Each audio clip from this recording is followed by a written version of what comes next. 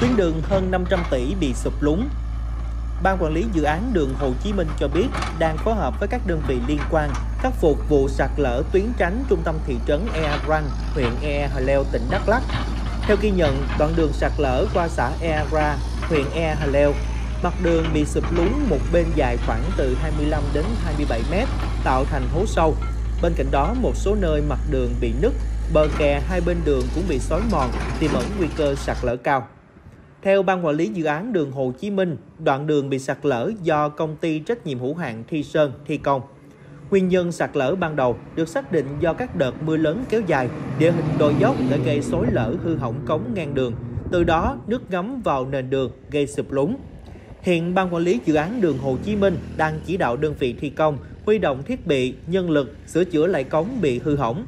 Sau đó, đào bỏ toàn bộ phần nền móng mặt đường để thi công lại.